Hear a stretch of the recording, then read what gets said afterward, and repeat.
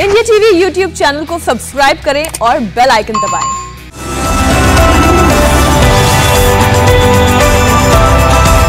आज की बड़ी खबर, केंद्र सरकार के आखिरी नोटिस के बाद ट्विटर ने जवाब दे दिया है। ट्विटर ने कहा है कि वह भारत और भारत सरकार के नियमों के लिए प्रतिबद्ध है। ट्विटर ने भारत सरकार को नए नियमों के पालन का आश्वासन भी दिया। ट्विटर ने यह भी कहा है कि भारत सरकार के साथ सकारात्मक बातचीत चलती रहेगी। नए आईटी नियमों के अनुपालन को लेकर पिछले शनिवार को माइक्रो ब्लॉगिंग साइट ट्विटर को केंद्र सरकार की ओर से आखिरी नोटिस भेजा गया था। ट्विटर ने इसी नोटिस का जवाब दाखिल किया है।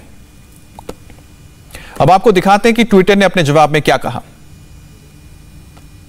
हमने भारत सरकार को आश्वासन दिया है कि ट्विटर नए दिशा निर्देशों का पालन करने के लिए हर संभव प्रयास कर रहा है और इस बारे में प्रोसेस रिपोर्ट शेयर किया गया है। हम भारत सरकार के साथ अपनी बातचीत जारी रखेंगे।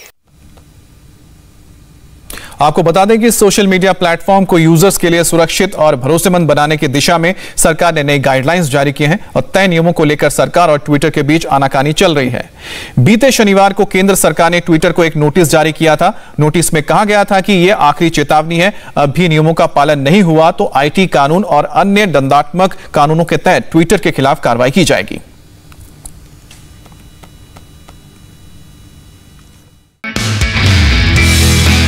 नमस्ते, मैं हूँ मीनाक्षी जोशी। वीडियो और खबरों से अपडेट रहने के लिए India TV YouTube channel subscribe करें, बेल आइकन दबाना ना भूलें। जुड़े रहें इंडिया टीवी के साथ।